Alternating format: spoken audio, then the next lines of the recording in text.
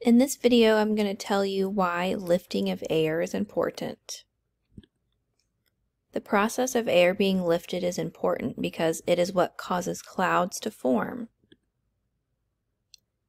And we know that with the formation of clouds, that can then lead to precipitation, which we all need to survive here on Earth. There are two processes of air lifting, and I'm going to tell you about them really quick. The first one is called orographic lifting, and this occurs when air is forced to rise over a mountainous barrier.